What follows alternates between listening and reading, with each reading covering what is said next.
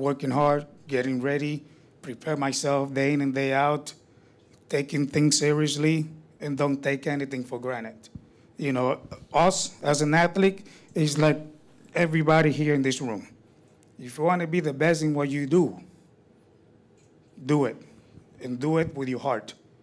Don't do it because, you know, they're going to pay me 15 days later or 30 days later.